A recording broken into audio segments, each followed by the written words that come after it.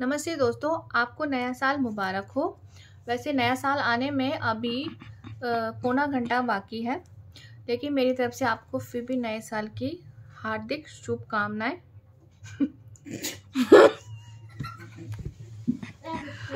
कदर खराब वीडियो? अच्छी बन गई थी। भगवान जी हार्दिक शुभकामनाएँ। तो क्या ही? भूल गई थी।